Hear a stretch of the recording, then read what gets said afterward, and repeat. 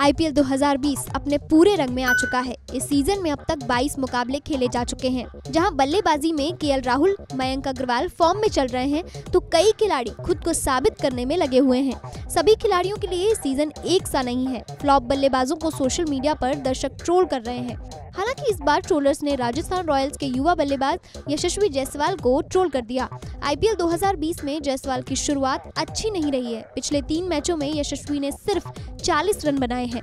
शुक्रवार को दिल्ली कैपिटल्स के खिलाफ खेले गए मैच में उनकी पारी के बाद ट्विटर पर ट्रोलर्स उनका मज़ाक उड़ाने लगे। ट्विटर पर पूर्व क्रिकेटर और कमेंटेटर आकाश चोपड़ा ने इस पर आपत्ति जताई।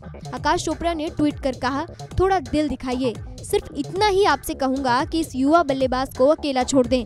और मुझे यकीन है कि सीनियर क्रिकेटर मज़ाक समझ और सह सकते हैं, लेकिन 19 साल के खिलाड़ी से वैसी ही उम्मीद रखना बेईमानी होगी। हालाँकि उसके बाद भी यूज़र्स ने ट्रोलिंग जारी रखी। आकाश चोपड़ा ने कहा कि एक 19 साल के खिलाड़ी का मज़ाक उड़ाने से पहले खुद को देखो और पूछो कि जब तुम 19 साल के थे तो तुम क्या कर रहे थे। आकाश चोपड़ा ने कहा कि यशस्वी जायसवाल अंडर 19 में भारत का प्रतिनिधित्व कर चुका है और वर्ल्ड कप में मैन ऑफ़ द टूर्नामेंट भी था। साथ ही लिस्ट क्रिकेटर में मुंबई के लिए दोहरा शतक भी जड़ चुका है। पिछले मुकाबले में दिल्ली के खिलाफ राजस्थान की ओर से ओपनिंग करने के लिए आई यशस्वी ने चौतीस रनों की पारी खेली, जिसमें एक चौका और दो छक्के शामिल थे।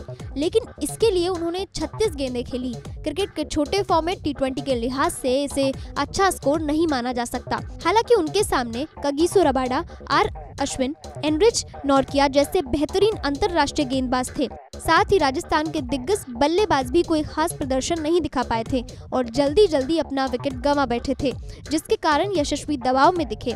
ऐसे में उम्मीद की जा सकती है, वो अपने प्रदर्शन से सभी ट्रोलर्स को करारा जवाब देंगे। फ़िलहाल के लिए इतना ही, बाकी की आईपीएल से जुड़ी तमाम अपडेट के लिए बने रहिए हमारे साथ और सब्सक्राइब कीजिए हमारा चैनल टीवी नाइन भारतवर्ष।